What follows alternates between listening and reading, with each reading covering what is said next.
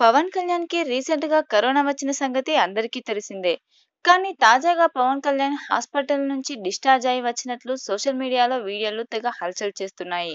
ఆ వివరాలేంటో తెలుసుకోబోయే ముందు ఇంకా మా ఛానల్ని సబ్స్క్రైబ్ చేసుకుని వాళ్ళు ఉంటే వెంటనే మా ఛానల్ని సబ్స్క్రైబ్ చేసుకోండి. బెల్ ఐకాన్ని క్లిక్ చేయండి. మేము పెట్టే ప్రతి వీడియోని నోటిఫికేషన్ రూపంలో పొందండి. తాజాగా ఈ రోజు పవన్ కళ్యాణ్ మీడియాతో సంభాషణ జరిపినట్లు కొన్ని మీడియా ఛానళ్ళు వీడియోలు పెట్టారు. అందులో పవన్ కళ్యాణ్ మాట్లాడుతూ ఇలాంటి కరోనా క్లిష్ట పరిస్థితుల్లో పదవ తరగతి వాళ్ళకి పరీక్షలు అవసరమా? అందరినీ ప్రమోట్ చేయాలని జనసేనాని పవన్ కోరారు.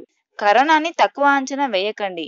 సీరియస్గా తీసుకోకపోతే ఇంకా చాలా క్లిష్ట పరిస్థితిని ఎదుర్కోవాల్సి వస్తుంది అని పవన్ కళ్యాణ్ అన్నారు. దయచేసి అందరూ జాగ్రత్తగా ఉండాలని మాస్కులు ధరించి కరోనా నిబంధనలను పాటించాలని పవన్ కళ్యాణ్ విజ్ఞప్తి చేశారు. అంతేకాదు వీలైనంత త్వరగా పబ్లిక్ ప్లేసుల్లో జనాలు గుంపులుగా ఉండకూడదని అత్యవసర పరిస్థితుల్లో మాత్రమే బయటకు వెళ్ళమని పవన్ ప్రజలకి జాగ్రత్తలు చెప్పారు.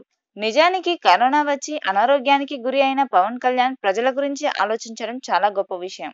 మరి తాను కరోనాతో బాధపడుతూ కూడా ప్రజలు అలాంటి పరిస్థితులు ఎదుర్కోవద్దని పవన్ చెప్పిన జాగ్రత్తల పట్ల మీ అభిప్రాయాన్ని కామెంట్ రూపంలో తెలియజేయండి. ఈ వీడియో కనుక మీకు నచ్చినట్టయితే లైక్ చేయండి షేర్ చేయండి కామెంట్ చేయండి. మరిన్ని ఇలాంటి లేటెస్ట్ అప్డేట్స్ కోసం తప్పకుండా మా ఛానల్ని సబ్స్క్రైబ్ చేయండి.